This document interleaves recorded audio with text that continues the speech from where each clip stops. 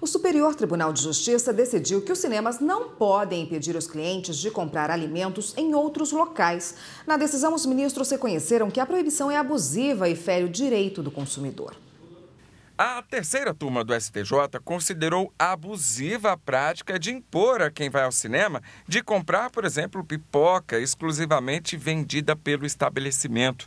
O relator do caso, o ministro Vilas Boas Cueva, destacou que a prática se trata de venda casada, prejudicando os direitos do consumidor, já que não é dada a opção de comprar produtos fora, que podem até ser mais baratos. O Código do Consumidor, ele proíbe esse tipo de prática. Ele não proíbe promoções, mas ele proíbe esse tipo de prática, venda casada, que é, que é o seguinte, você é ser obrigado a consumir um determinado produto para ter acesso a outro. O caso começou a ser discutido na Justiça de São Paulo, quando uma rede de cinemas proibiu o consumo de alimentos que não fossem vendidos pela empresa.